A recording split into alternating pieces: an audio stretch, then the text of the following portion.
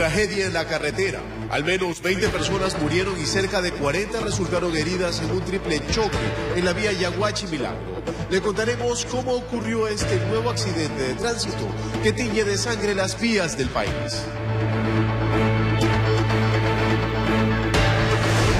Más adelante, más de 200 familias han sido afectadas por el desbordamiento de un río producto de las lluvias caídas en las últimas horas. Al volver les contaremos dónde.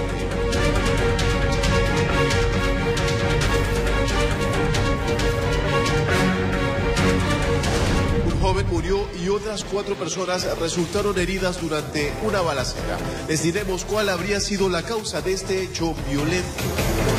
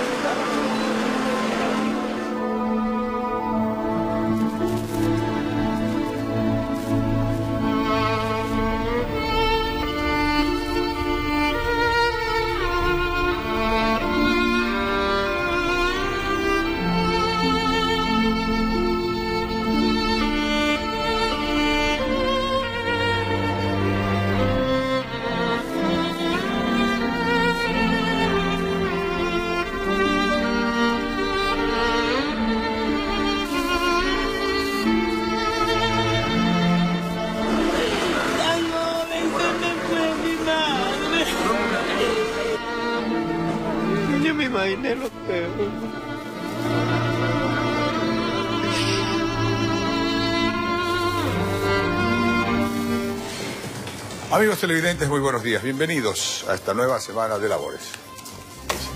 ¿Cómo estás, Hugo? Buenos días, amigos televidentes. Gracias por acompañarnos en este inicio de semana, lunes 16 de enero del 2017, como podíamos verlo en las imágenes, muy consternados. Bueno, agradecemos a Dios por la nueva, nueva semana de oportunidades que nos brinda y por sus bendiciones y cuidado. Y una situación realmente dolorosa, pero yo siempre digo lo mismo y creo que quienes creemos en el Creador decimos lo mismo. Son decisiones que toma el Supremo Hacedor y Él sabrá por qué lo hace. Aunque a nadie le gusta. Sí, en realidad él siempre desea lo mejor para nosotros y esta no es una situación provocada por él propiamente, sino como ya lo veremos más adelante y seguramente eh, el país está ya enterado y consternado en virtud de que a primeros visos todo apunta a indicar que el percance, el, trágico accidente se produce como consecuencia eh, de uno de los conductores en estado etílico. Pero ¿qué te parece si antes revisamos los titulares que destaca Diario El Comercio gracias al sitio electrónico infobae.com? Las rosas de San Valentín listas para exportación. La mitad de bachilleres quiteños no sabe qué carrera universitaria elegir. La era Trump llega rodeada de polémica. La diplomacia determinó su carrera política. Esto a propósito de uno de los candidatos a la presidencia, el doctor Patricio Zuquilanda. Barcelona pierde en su estreno. Todo esto y mucho más es lo que destaca en su portada Diario El Comercio. Bueno, decía yo, son decisiones de Dios, porque en todo interviene Dios. Yo no he dicho que Dios nos mandó a matar, dije que es de una decisión de Dios en la que interviene Dios, porque si Dios no interviniera, pues el mundo no estaría como está. Dios interviene en lo bueno y en lo malo, son decisiones que asume y toma. Yo no, no, no creo que Dios le mande a un ser humano, pero interviene, por bien o por mal. Es decisión que él toma. Uno dice, estoy en mi casa y me cae encima la pared. respeto tu criterio, pero no es lo que yo he querido decir. No Es que si me cae la pared palabras. encima, Cuando Dios digo, así lo dis- quiso. no, voy a disentir de ese punto porque siempre he considerado que el mundo está como está por consecuencia y responsabilidad de los seres humanos. pero ¿y quién pone ese ser humano ahí? Te invito y sería motivo de una discusión. Vamos inmediatamente con la información. Existe conmoción en el país luego que un trágico accidente dejó más de 20 muertos y cerca de 40 heridos en un triple eh, choque ocurrido en la vía Yaguachi Milagro a la altura del sector conocido como La Tele. Según las primeras investigaciones, el percance habría sido provocado, provocado por un vehículo, uno de los vehículos involucrados, cuyo conductor estaba bajo los efectos del alcohol.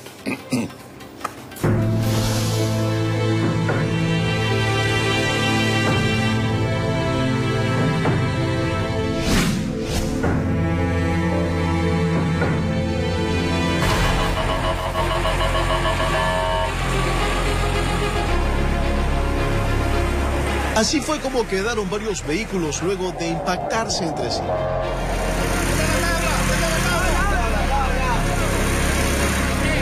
De ahí que el saldo de las víctimas sorprendía más que los fierros retorcidos de los automotores. Se trataba de un accidente suscitado en la vía Yaguachi-Jujan, cercano al sector conocido como la T de Milagro, en donde los cuerpos de varias personas eran rescatados por agentes de la CTE, bomberos, policías y demás.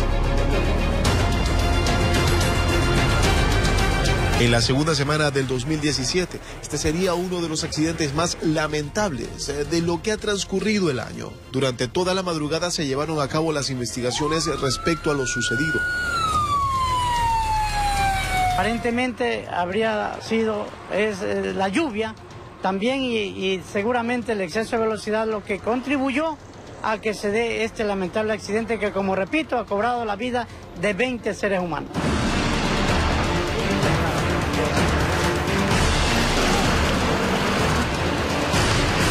Ya en horas de la mañana, la luz del día dejaba en evidencia la magnitud del choque. Fiscalía en el lugar para establecer las causas del mismo. Están involucrados tres vehículos, un carro de transporte de personal, un carro de la cooperativa Ventanas y otro que es un Vitara. El Vitara rebasó, invadió carril contrario. También hacerle la prueba de colemia al, al conductor de, del Vitara que falleció y le salió positivo, 2.2.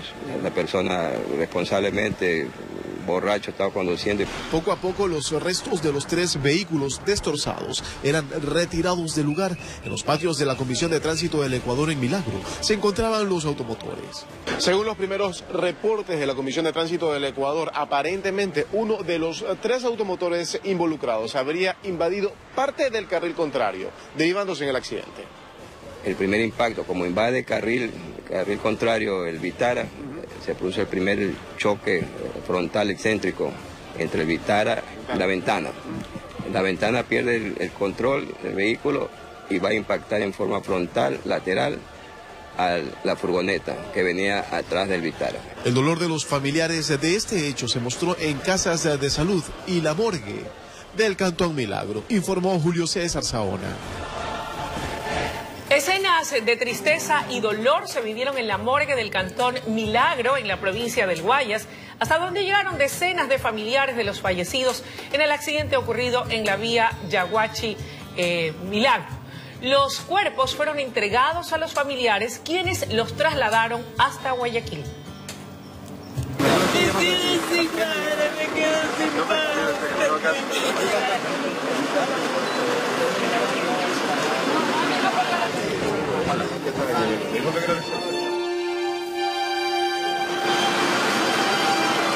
La morgue de Milagro copado.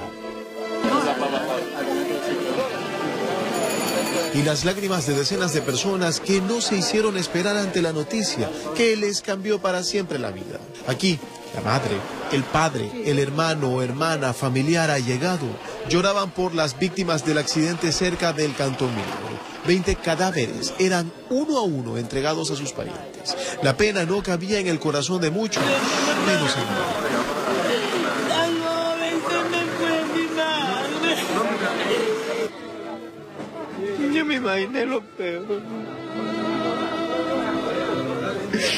Le he dicho a mi esposa, vístete, vámonos porque acá tuve un accidente, un carro que venía para acá. ¿A quién habría perdido? A mi hija, ¿Cuántos años? Joven, 17 años. El impacto que hubo tan grande fue duro. Aseguran que varios de los fallecidos se dirigían a un retiro espiritual, buscando encontrarse con el Creador. Sin embargo, salieron de Guayaquil y solo les regresó la noticia de su deceso. Ahí va, ahí va. Sí, mi hermana. ¿Su hermana? ¿Hacia dónde se dirigía su hermana? A Milagro, a qué Milagro se iba. De retiro de la iglesia cristiana, eh, católica. Duro para mí porque hace dos meses falleció mi otra hermana y ahora me sucede esto. Mi hija tenía 32. Sí, ella. Pero igual se iban al retiro espiritual, me parece. Sí, ellos se iban a retiro del espiritual, se iban. Una tristeza, perder a mi hija, perder todas las mías. Deja a sus niños huérfanos de madre. ¿Cuántos hijos dejan? Cinco niños. Eh, ¿Todos? Una, una niña tiene tres añitos. Y la mayor recién cumplió 15 años y ahí siguen todos pequeños. La alcaldesa de Milagro también estuvo presente en la morgue. Aquí, la entidad municipal se hizo cargo de la organización de la entrega de los cuerpos. Asegura que esto enluta no solo a una ciudad, sino que a todo un país. Sí, hemos, gestionado los ataúdes eh, a todos los familiares y acompañando realmente en esta pérdida en la cual estas personas estaban viajando a un retiro espiritual. Y tenemos niños fallecidos, tenemos personas adultas. Lágrimas y llanto que expresan el dolor de pérdidas irreparables, informó Julio César Saona. Los cadáveres de esta tragedia comenzaron a ser retirados por sus familiares durante el fin de semana. La mayoría de los fallecidos pertenecían a una congregación católica que se dirigía a un retiro espiritual.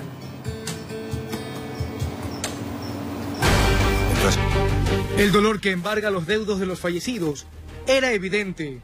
En silencio, muchos de ellos, amigos incluso, acudieron a retirar sus féretros para ya en el seno familiar dar paso a sus funerales. Se han a las 7 de la noche. A la hora ya la noticia se corría que se habían accidentado, pero no sabíamos qué clase de accidente. Don Raimundo Arteaga, como no podría ser para menos, lamentaba las muertes de una de sus hijas y yerno en el choque múltiple del pasado viernes. Ellos siempre se iban de convivencia de la iglesia de aquí a, a diferentes iglesias. En esta ocasión se iban a Montalvo.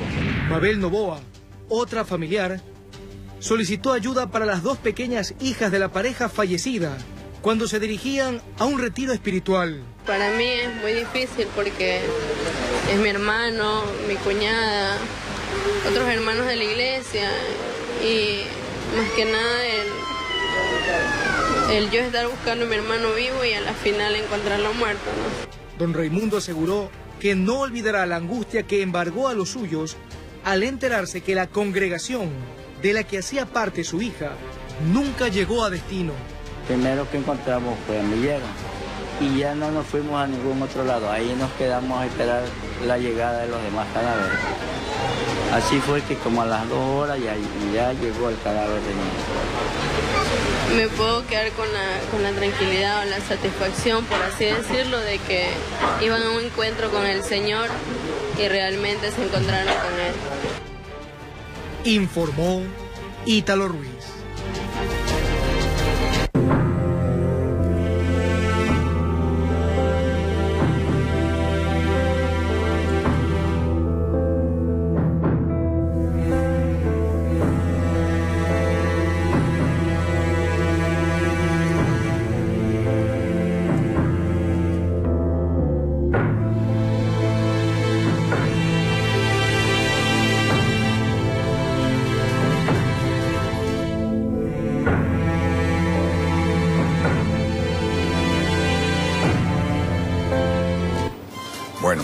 De salir de estudio, Luisa. Claro que sí, vamos a hacer contacto con Jorge Salazar para que nos diga dónde se encuentra y qué nos reporta a esta hora de la mañana. Jorge, buenos días. Muy buenos días, Hugo, Luisa y amigos televidentes. Excelente inicio de semana. Hoy hemos acudido a la vía perimetral a la altura de la isla Trinitaria. Como todos sabemos, eh, por lo regular los delincuentes utilizan armas de fuego para amedrentar a sus víctimas. En el peor de los casos utilizan las armas y hieren o acaban con la vida de los perjudicados. A sabiendas de esta lamentable y penosa situación, las Fuerzas Armadas, como también la Policía Nacional, realizan constantemente operativos de control de armas de fuego en todo Guayaquil. Hoy no ha sido la excepción y observamos ya a un grupo de uniformados pendientes, observando cualquier movimiento fuera de lo común para inmediatamente proceder, en el caso de los vehículos, a detener momentáneamente la marcha y posteriormente revisar a los conductores y a los pasajeros. Vamos a dialogar inmediatamente con el conductor de este bus urbano. Amigo, muy buenos días. ¿Qué opina del trabajo de las Fuerzas Armadas? Muy bueno, que, pero que sea un poquito más seguido, porque sí hay alta delincuencia. Bastante. ¿Con qué frecuencia suelen ser ustedes asaltados? O sea, en el trayecto de, este- de las perimetrales son los asaltos. Por el centro no hay nada. Todo es en este trayecto nada ¿Qué tipo de armas utilizan los antisociales? Cuchillo, revólver, ¿Ustedes qué hacen? nada. Dejarnos robar, ¿qué más podemos hacer? Ah, heridos, por ahí hay un compañero que por aquí le han metido una cuchillada, le robaron el otro día, andaba en el disco 34. ¿Qué razón lo hirieron? Por robarle. Dejó robar. No, ahí dejó el carro parado. Muchas gracias. Ya lo dijo el conductor, oportuna la intervención de los uniformados de las Fuerzas Armadas. Ahora sí, los usuarios van a viajar más tranquilos, con más seguridad, conociendo que al menos en este momento no hay ninguna persona que pueda hacerles daño dentro de la unidad. Vamos a dialogar brevemente con el teniente de fragata Armando Morán. Muy buenos días. Muy buenos días.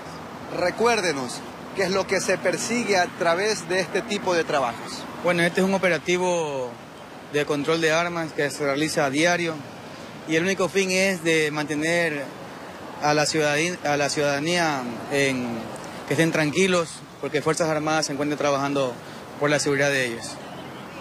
¿Cuál es el nombre y para qué sirve este objeto que introducen debajo de los vehículos? Bueno, este es un espejo cóncavo, el cual sirve para verificar que en la parte de abajo de los vehículos eh, no encontremos nada, ya sea hasta un arma o drogas que suelen camuflar debajo de los vehículos. Ya también eh, se encuentran canes aquí. ¿no? Efectivamente, estos son canes antidrogas. Ellos ya están debidamente entrenados. Como usted podrá observar, ellos se encuentran ahorita dentro del vehículo. Ellos si llegasen a encontrar algo, eh, automáticamente lo detectan y reportan. Listo, excelente, muchas gracias. Teniente, seguimos dialogando más adelante. Observamos al- a la mascota como se encuentra pendiente aquí, olfateando, tratando de oler cualquier sustancia prohibida. ¿Todo bien? Todo en orden, dice. Caballero, voy a pasar por ahí, Martín. Muy buenos días. ¿Qué opina del trabajo de las Fuerzas Armadas y de la mascota en especial? Sí, sí, sí, no, está bien. E incluso falta para más seguridad. Sí, sí. Por ahí cualquier presa de pollo o algo que se le puede llevar al perrito. No, no, nada que ver. Es bastante peligroso circular por esta vía. Sí, yo vengo poco por aquí, pero igual está bien la, la requisa que están haciendo. Quizás se ve perjudicado en perder unos cuantos minutos. No, no, nada, porque por eso uno sale con tiempo por, por cualquier imprevisto. Parece. Muchas gracias. Hay que recordar que el porte de arma está totalmente prohibido y que el mismo puede ser penado hasta con cinco años de cárcel. Espejo cónclave es el nombre de este objeto que utilizan los uniformados para percatarse.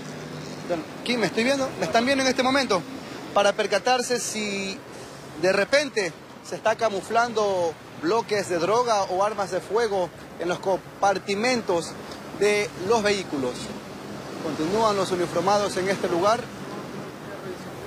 En este momento requisando al conductor de este auto color azul, quien está colaborando con el procedimiento de los uniformados y es lo que se busca, es lo que se exhorta, que la ciudadanía colabore para que estos operativos se den de la mejor manera. Caballero, buenos días, ¿qué opina del trabajo?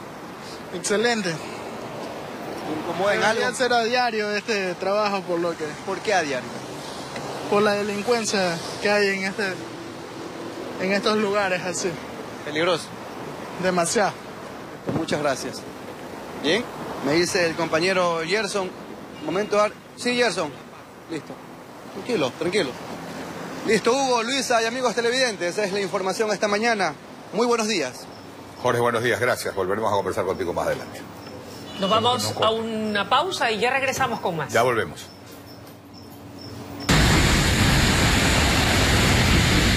Más de 200 familias han sido afectadas por el desbordamiento de un río producto de las lluvias caídas en las últimas horas. Al volver les contaremos dónde.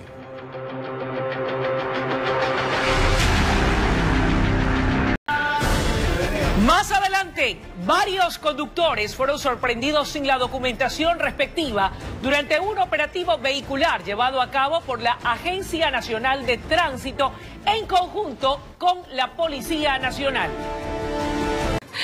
Bueno, y ahora quiero contarles que una mujer fue encontrada sin vida dentro de una vivienda abandonada ubicada en el sur de Guayaquil.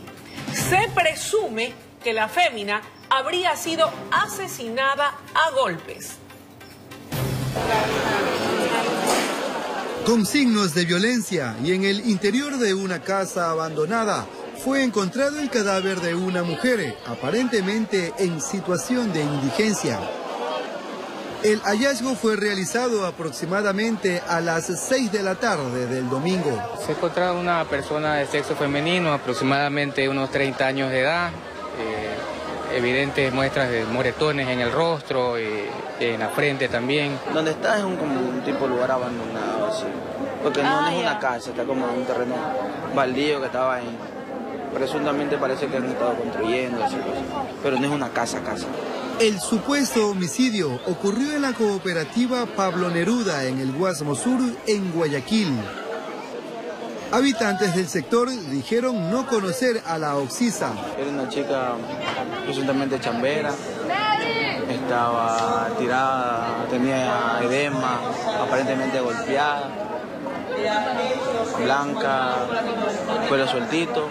Por su parte, la Policía Nacional realizó la fijación del sitio para iniciar las investigaciones del caso. Vamos a seguir eh, investigando para conocer las causas de muerte con el respectivo protocolo de autopsia. Informó Jorge Salazar. Una mujer de aproximadamente 40 años de edad habría sido asesinada de 13 puñaladas por su ex conviviente. El supuesto caso de femicidio se, pre- se registró en el cantón Machala, capital de la provincia de El Oro. Fue en el interior de este inmueble ubicado en las calles Napoleón Mera y Olmedo, en pleno centro de Machala, donde ocurrió el presunto femicidio. Tania Mora, de 40 años de edad, habría sido asesinada de varias puñaladas por su ex conviviente. Se encontró en el interior de un inmueble un cadáver de sexo femenino. Eh, al realizar el, el examen externo del cadáver se apreciaba 13 heridas producidas por arma, arma blanca. Una vez consumado el crimen, el victimario habría llamado a la hija de la Oxisa para indicarle la dirección donde se encontraba su progenitora sin vida. Sus familiares, conmocionados por el aviso, llegaron a este lugar, encontrándose con la fatal escena. Estaba la ventana, así la corrimos y alumbramos con el celular, estaba el cuerpo de ella. Ay, estaba muerta mi hermano. Según versiones, la víctima se habría separado de su pareja debido a los constantes maltratos que recibía. Inclusive poseía una boleta de auxilio. Sin embargo, nada de esto detuvo a su agresor que cumplió con el juramento que le habría hecho de arrebatarle la vida. No aceptaba que, que mi hermana ya no quería estar con él, mi hermana, él era muy agresivo, un tipo demasiado agresivo. Eh, en un ataque de celo, eh, presumiblemente por la escena en la que nosotros analizamos, verificamos de que existieron las agresiones en contra de la Oxisa. Entre llanto y desconsuelo, familiares y allegados de Tania velan sus restos. Ellos piden a las autoridades se haga justicia. Las autoridades hagan justicia por esto. Que esto no se quede así. Tengo tres sobrinos que están huérfanos de padre y madre ahora. Se tiene identificado a esta persona, se seguirá trabajando para que esta persona sea ingresada dentro de la lista de los más buscados dentro de la provincia. Este sería el primer caso de presunto femicidio que se registra en la provincia de El Oro en lo que va del año. Desde Machala informó Karina Valdivieso.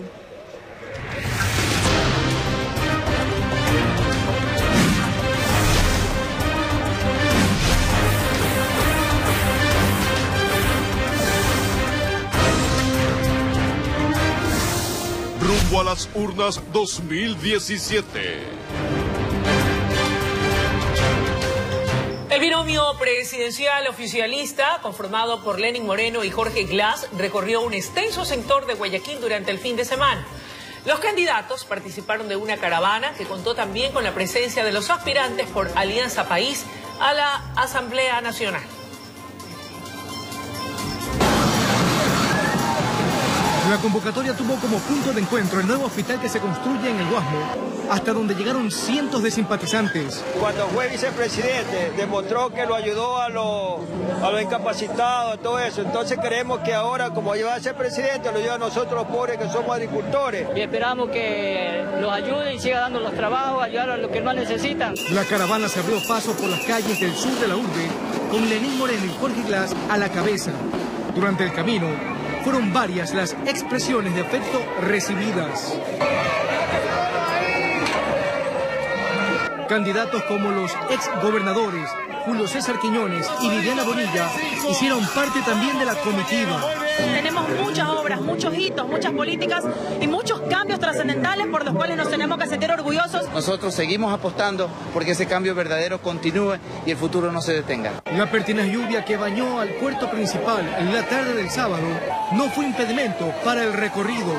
En el corazón llevamos la satisfacción grande del afecto y el cariño de todos los guayaquileños. Vez un abrazo muy grande y decirles que no les vamos a fallar. No les hemos fallado y no les vamos a fallar nunca. La caravana que aproximadamente se movilizó por 20 kilómetros de la ciudad terminó en el barrio Garay con las intervenciones de varios de los candidatos. Informó Ítalo Ruiz.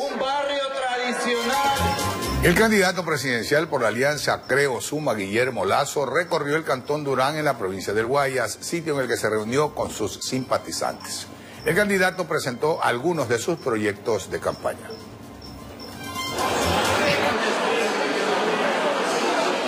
El candidato a la presidencia por el partido Creo, Guillermo Lazo, participó de un almuerzo junto a sus coidearios en el Cantón Durán. Adicional a esto, tenían previsto hacer una caravana, actividad que se vio suspendida debido al accidente de tránsito ocurrido en la vía Ayaguachi. Eh, hemos expresado la solidaridad a las familias de aquellos ecuatorianos que han estado en eh, aquel accidente y por respeto a ellas suspendimos la caravana que íbamos a realizar en Durán porque inclusive hay algunos ciudadanos de Durán que se han visto afectados en este lamentable accidente. El líder político aprovechó esta ocasión para recordar a sus electores sus propuestas de campaña. Tener el bono de desarrollo humano, no subir el precio del gas de uso doméstico, apoyar el emprendimiento juvenil, luchar contra todo acto de violencia contra la mujer. Otra de las acciones a las que dice pondrá énfasis es al tema de la inclusión social y el microtráfico. Vamos a combatir el micronarcotráfico y también vamos a llevar a cabo un amplio programa de prevención de uso de drogas en escuelas y colegios. De esta manera, con saludos afectuosos y de la mano de su esposa, este presidenciable busca llegar a Carondelet, informó Mari Carmen Falconi. La avenida 9 de octubre en Guayaquil fue el escenario para celebrar los 10 años de la Revolución Ciudadana. El primer mandatario aprovechó la oportunidad para despedirse, asegurando que este será su último mandato.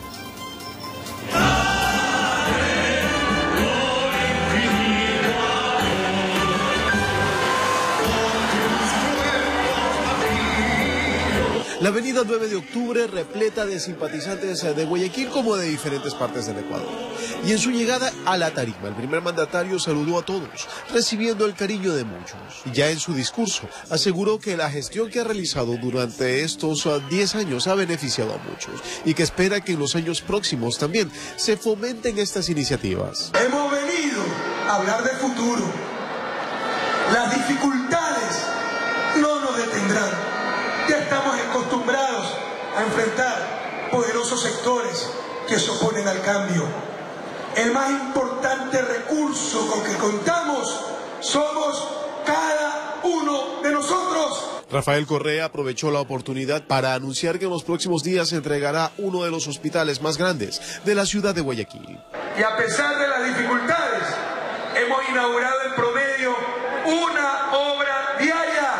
La próxima semana entregaremos aquí en Guayaquil el nuevo hospital del Guamo Sur de casi 500 camas, compatriotas. En medio de los festejos aprovechó para despedirse, pues acotó que este sería uno de los últimos eventos en su mandato.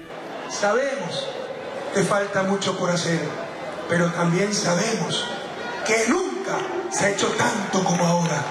¡Vamos a triunfar!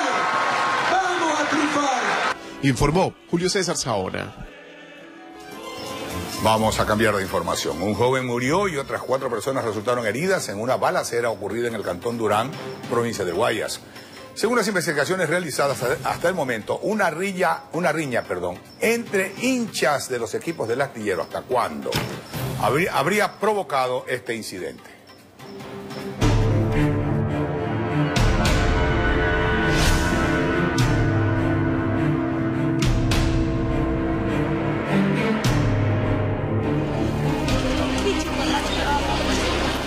Jonce, más conocido por sus familiares y amigos como Amor de Gallo, salió de su casa para dirigirse a un evento masivo. Todo iba a ser diversión esa noche, pero a su domicilio no volvió. Eh, un concierto y ahí lo han matado, dice que entre Melecita y Barceloneta parece que la hincha misma, la hinchada misma, la hinchada.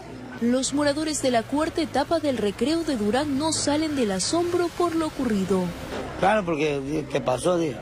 Yo pensaba que venían de pronto por la situación como está el recreo. Y es que existen varias hipótesis. Dicen que después del concierto, ya uh, cuando estaban recogiendo la tarima, debe haber sido 3, 4 de la mañana, que fue la balacera con, unos, con los Latin King y los chicos de la Boca del Pozo. Los familiares y amigos de la víctima han preferido no hablar de este lamentable hecho de sangre. Por su parte, el fiscal que atendió este caso da algunos detalles que podrían esclarecer este suceso.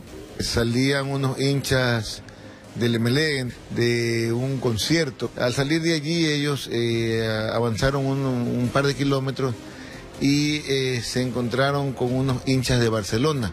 Trataron ellos de esquivarlos y se cambiaron de carril. Al cambiarse de carril, eh, inmediatamente aparece una camioneta y comenzaron a, a, darles golpes, comenzaron a disparar. De acuerdo a estos datos, se tendría plenamente identificado al autor del crimen. Por uh, reserva no voy a dar el nombre, pero está identificado la persona que dispara y mata al hincha. El tipo penal eh, establecido es eh, eh, el de asesinato, con las agravantes de que fue hecho en, en tumulto y en, en la vía pública. Informó Mari Carmen Falconi. Y un hombre decidió poner fin a su vida ahorcándose en el interior de su domicilio, ubicado en el sector de La Fragata, en el sur de Guayaquil. El fallecido, de 32 años, estaba separado de su esposa, quien se encuentra embarazada. Además, deja cinco hijos en la orfandad y se encontraba desempleado. La familia asegura que debido a esta situación, el joven se hallaba deprimido desde hace varios días, por lo que no descartan que eso haya sido lo que lo llevó a tomar la fatal decisión. Porque me da tristeza de ver que un chico tan joven y se quita la vida. Tristeza que él me sabe que yo me muera con mis nietas incendiadas ahí al frente y él se viene a quitar la vida. De eso se me salen las lágrimas. Cada uno tiene sus conflictos internos y, y uno los conlleva en su interior y me imagino que pudo haber sido algo. Nadie sabe, no podemos juzgar a las personas por qué tomó esa decisión. De pronto fue la depresión que tenía de muchos problemas acumulados que, que, que tenía. Y un disturbio entre los integrantes de una familia y varios agentes de la Policía Nacional dejó como resultado un adolescente herido. El hecho se registró la noche de este domingo al noroeste de Guayaquil. El supuesto enfrentamiento ocurrió en el bloque 17 de Flor de Bastión, en el noroeste de la urbe. Del grupo de civiles, al parecer miembros de una familia, resultó herido un adolescente de 15 años, mientras que de los elementos policiales, uno de ellos resultó con una herida en la cabeza. Los policías me le pegaron a mi hijo como le dio la gana. ¿Por qué? Porque hubo un problema ahí que este mi hijo se metió a defender y uno está en el, en el universitario inconsciente y el otro y el otro está aquí preso porque según mi hijo le partió la cabeza y fue a portar fuerza guiando. Se acusan de manera este, directa unos a otros haber sido autores de agresiones físicas y entre ellas existe un menor de edad que indican está en un centro hospitalario internado.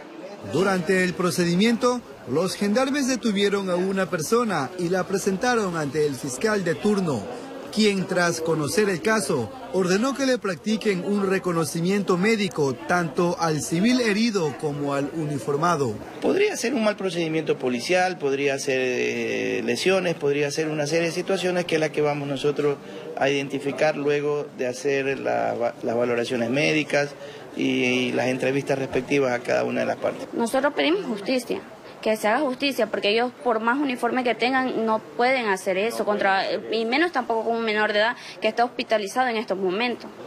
En las próximas horas se conocerá si los policías acusados serán o no incluidos en el proceso, informó Jorge Salazar.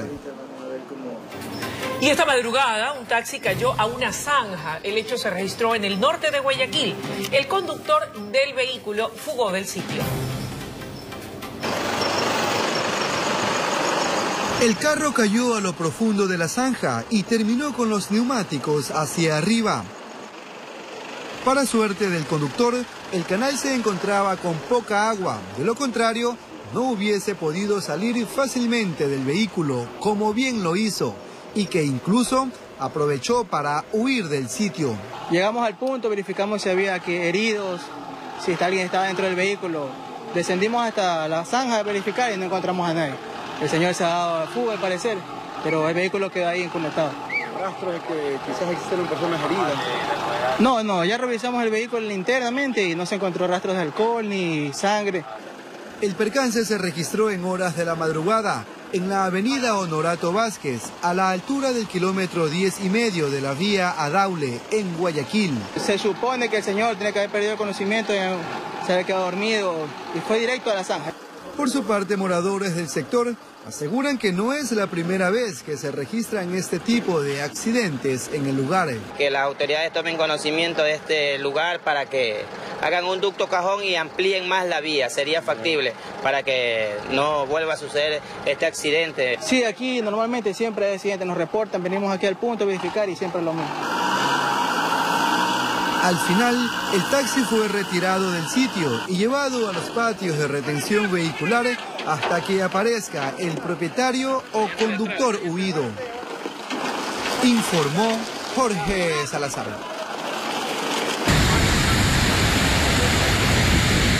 Más de 200 familias han sido afectadas por el desbordamiento de un río producto de las lluvias caídas en las últimas horas. Al volver les contaremos dónde.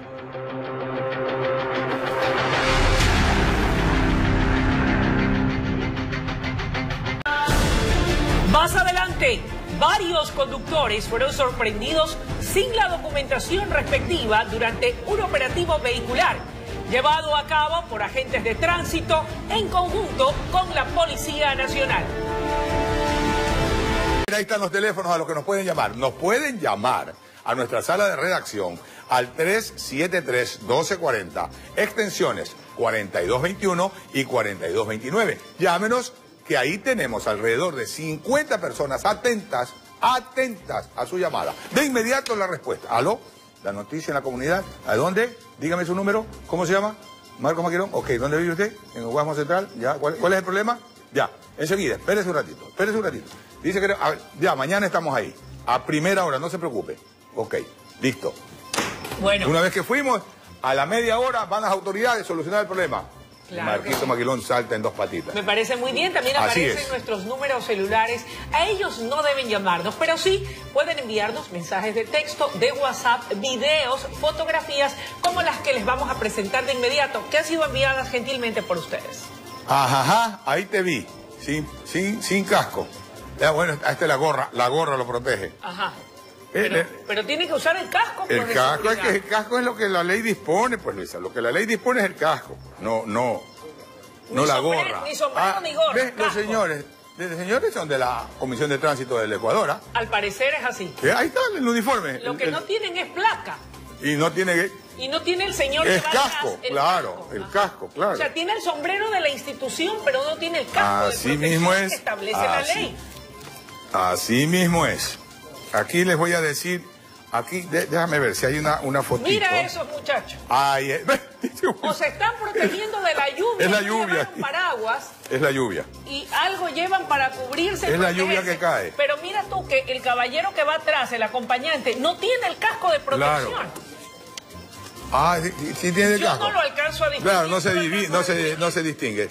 El problema es lo que llevan. Eso, lo que no entiendo Claro. es qué se El está problema es lo que llegan arriba. Que, que- es que motocamión. Pero sabes que es peligroso. Por Porque supuesto. es preferible que se Pueden perder el control, pueden es perder el control. que Claro, así es. Pero no puede sostener lo que lleva para protegerse de la lluvia si ese fuera el caso. Incluso pues el señor que va adelante lleva parte de la carga es. Vea, mira eso, Luisa. Ese es de lo que iba a hablar en este Ajá. ratito. Me mandaron, me escriben desde Inindé, en la provincia de Esmeralda. Sí. ¿No? Mira, qué, qué, eh, qué irresponsabilidad.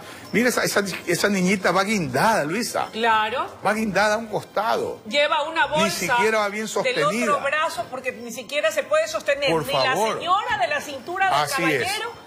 Ni, ¿verdad? ni la niña tampoco mano. bien cogida. No tiene tampoco placa la motocicleta. Mira cuántas irregularidades. Tres por lo que se puede apreciar en moto y sin placa. Bueno. de- Exponiendo la vida de la criatura. Así es. Desde Quinindé me dicen que un niño, Ya. un menor de edad, murió. Otro de 16 quedó, un- otra persona de 16, un joven de 16 años, quedó herido y uno de 20 resultó también herido. El niño, Ya. iban los tres en la moto, Dios. la moto la choca o se choca contra una camioneta, Ya. la moto se incendia, los dos salen volando, también prendidos en llamas, pero el niño queda aplastado por la moto y muere. Qué terrible. Ahí está. Eso le estoy diciendo aquí, en Quinindé. Claro. En Quinindé, en el sitio conocido como Nazaret, en la provincia de Esmeraldas. Qué Está la información que me están enviando. ¿Cuántos casos como esos se tienen que replicar para que tomemos conciencia de lo grave, de lo delicado, de lo irresponsable que es el llevar criaturas en la motocicleta? Por favor. Ahí está. Ay, ay, ay. ¿Qué ¿Qué, haces ahí? pasó, patrullero 257? Ahí está, pues la cebra, el, el- la- ¿cómo se llama? El paso cebra para los peatones. Por supuesto. Hay otro irrespeto a la Entonces, yo verlo al señor ahí, yo también Ajá. me pongo al lado. Claro. Capaz que se baja y me cita. ¿Y qué pasa con los peatones? ¿Y este? No pueden cruzar por Y ahí. este, una niña en la mano izquierda del volante, que vea, la niña asomada en la ventana del conductor, mira. O sea Esa, que, o sea esa que es la otra, lleva sobre las piernas. Exactamente. O con la mano izquierda sostenida y manejando con- solo con la derecha. Qué terrible. Esa es otra pésima costumbre que tiene la gente que yo no sé qué es que piensan. Creen que eso es amar a los hijos. Por favor. Es igual que llevarlos en la moto. Eso creen que es amar a los hijos. Y unos llevan a los niños sentados en sus piernas, sosteniendo al niño y manejando solo con la derecha. O también a las mascotas, ¿ah? he más, visto. eso te iba a decir. También O los perritos mascotas. también sentados en la pierna, ¿no? Ya. Entonces, ¿qué pasa? Eh, por ejemplo, hay personas que tienen carro automático y no necesitan la mano derecha para meter los cambios. Claro. ¿Verdad? Entonces llevan al. Lo que no está bien tampoco. Tampoco, Tampoco está bien. O al niño o al perro. Pero el señor que va en ese carro, ese carro es de cambio. Claro. Es decir, con la misma mano que maneja, tiene que meter cambio. Por supuesto. Hace las dos cosas. Le resta Se le va- capacidad de Pero maniobra, por supuesto. de visibilidad, de todo, Luis. de concentración. De todo, de por todo. supuesto. ¿Sabes por qué? Sí. Porque vas más pensando en lo que le puede pasar a la criatura Claro. o al perrito, Ajá. que lo llevan asomado al perrito, Ya. entonces le resta capacidad de reacción. Momento que tiene que utilizar las dos manos para virar violentamente a la derecha porque se le viene un bus, ¿qué hace? No puede hacerlo. Perro a la lona, pues. Por supuesto. Perro a la calle o niño a la calle, pues. Claro. Y entonces el carro se le viene encima y lo mata. pues. Terrible. Eso Y es si irresponsabilidad. quiera, cruza otro carro y Exacto. arrolla a la criatura. O, exacto, o cruza otro carro, o, cruza, mira, ahí mismo, cruza un perro. Y por evitar arrollarlo, en Manabí, esta madrugada, o ayer de madrugada, Sí. ha muerto un muchacho integrante de, una, de un conjunto musical.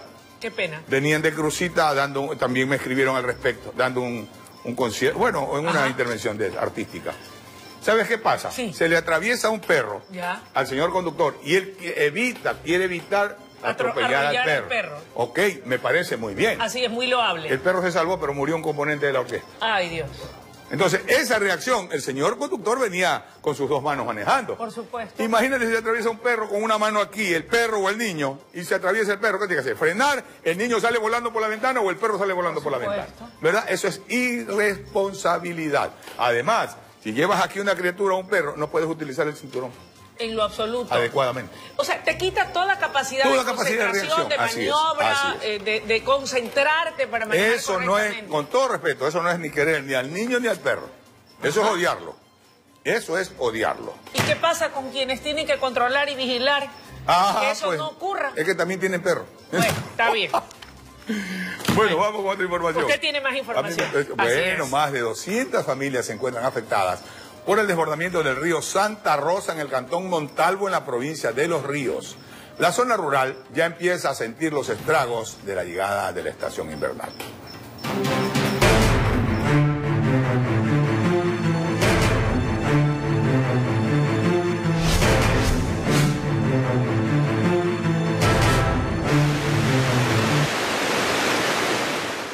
Incomunicados quedaron los moradores del recinto La Maravilla cuando el aumento en el caudal del río Santa Rosa arrasó con aproximadamente 50 metros del muro carretero.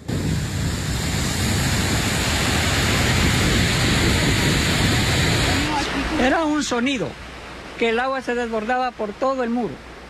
Entonces ya no resistió el muro, entonces ya comenzó a, rebasar el agua. Entonces el agua que es del muro alto comenzó a, a, a irse pedazo a pedazo y ya desbarancándose. Bajo el agua quedaron cultivos de arroz y cacao, tanto en Las Maravillas como en Lola Chica, Lola Grande y San Vicente. tienen una pérdida considerable, que lo cual pues en lo posterior se va a establecer una coordinación con el mismo Ministerio de Agricultura para poder levantar la información real de la pérdida. En Lola Chica, los moradores en el transcurso de la mañana de este domingo colocaron sacas con piedras, pues a primeras horas el río desbordó y el agua ingresó a las viviendas. Inclusive en mi casa estoy ahorita, como quien dice, conchando, limpiando.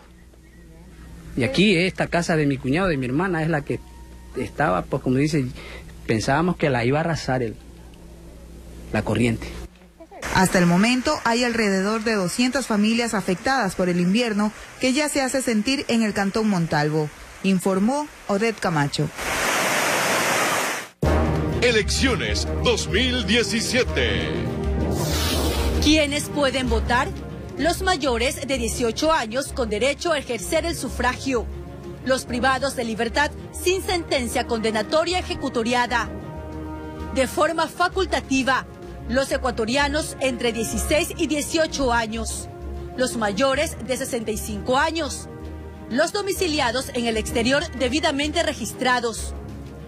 Integrantes de Fuerzas Armadas y Policía en servicio activo personas con discapacidad, extranjeros desde los 18 años que residan legalmente en el país al menos 5 años. Elecciones 2017.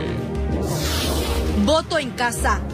Las personas beneficiarias del programa Voto en Casa ejercerán su derecho al voto el jueves 16 de febrero y en caso de una segunda vuelta para el binomio presidencial, el viernes 31 de marzo. Seguimos informando, dos hombres fallecieron aparentemente por el consumo de licor en el cantón Ventanas de la provincia de Los Ríos. Las autoridades están investigando este caso que ha provocado mucha preocupación en los habitantes de ese cantón fluminense. Los dos. Él se reía porque como que. Libaron juntos la noche anterior y en la mañana ambos estaban sin vida, cada uno en su vivienda con la misma causa de muerte. En ambos nos llama la atención que hay una hemorragia cerebral interna en ambos que han estado consumiendo alcohol. Uno de los fallecidos tenía discapacidad y era indigente. El otro ciudadano de 43 años había bebido por varios días, según sus familiares, habitantes del recinto Limón en el cantón Ventanas. Se supone que es por el alcohol, exceso de alcohol, qué sé yo. Lo sorprendente es que dice que estaban los dos tomando y que justo se mueren los dos juntos, casi unas tres horas de, de, de laxo entre uno y el otro. La Policía Nacional investiga la muerte de estos amigos de Copas, pues según la necropsia de ley murieron por envenenamiento. Ya adelantado con los compañeros de las investigaciones básicas para determinar en dónde fue que eh, las personas consiguieron este licor. La provincia de Los Ríos cuenta con un evento trágico por licor adulterado, cuando en el año 2011 20 personas murieron intoxicadas con alcohol metílico. Por ello, los allegados de los fallecidos piden que el caso sea investigado. Desde Los Ríos informó Odette Camacho. Y un hombre fue hallado sin vida en la habitación de un hostal ubicado en las calles 24 y Cuenca al suroeste de Guayaquil. Los encargados del lugar dieron parte a la policía luego de que el cliente no respondiera al llamado del personal de servicio. Agentes de la Fiscalía y Criminalística llegaron al lugar para realizar el levantamiento del cadáver y su posterior traslado al laboratorio de ciencias forenses para la autopsia respectiva y poder de esta forma determinar las causas que habrían provocado su deceso.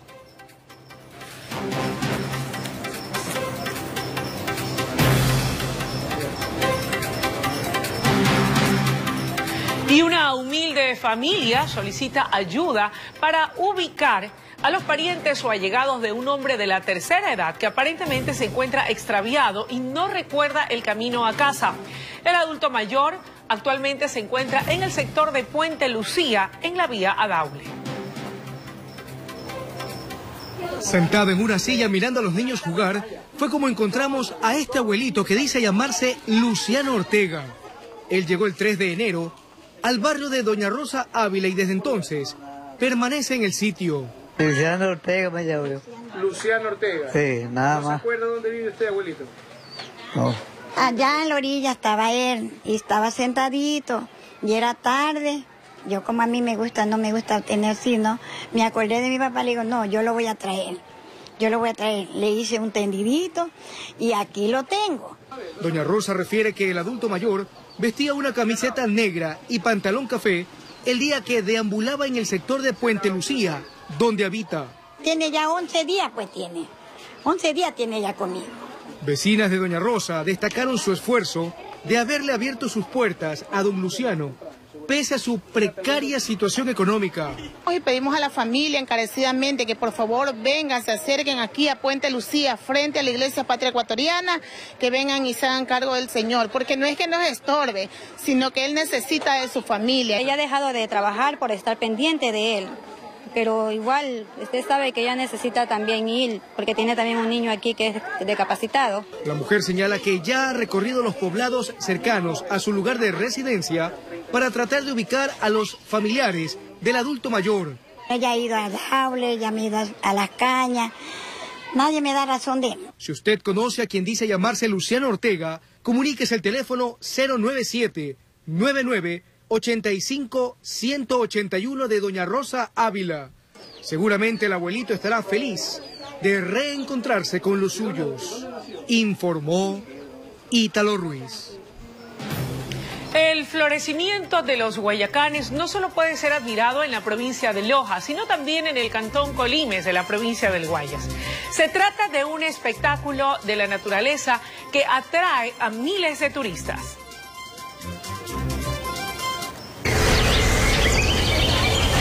Una vez al año, los guayacanes florecen, creando un escenario atractivo y único.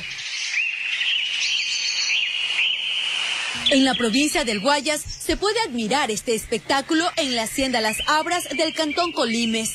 Durante toda la semana, cientos de visitantes han acudido para admirar el paisaje pintado de amarillo con las hojas de este árbol milenario que aparecen con las primeras lluvias de invierno. Para poder ver este atractivo natural teníamos que viajar hasta la ciudad de Loja. Hoy lo tenemos en el Cantón Colimes, provincia del Guayas, donde hacemos extensiva la invitación para que toda la ciudadanía en general, los turistas vengan, nos visiten. El florecimiento tiene un significado de riqueza y felicidad para la cultura montubia. Es una cosa asombrosa ver los árboles, los guayacanes. Es un sendero muy agradable que para poder pasarlo en familia. La alcaldía, junto con el Ministerio de Turismo y la prefectura, promueven actividades como paseos en caballo o en bicicleta y avistamiento de aves. Un paseo que no solo permite tener un mayor contacto con la naturaleza, sino que invita a reflexionar sobre el cuidado del medio ambiente para proteger tesoros como este. Informó Luxiola Salazar. Elecciones 2017. Tiempo en funciones.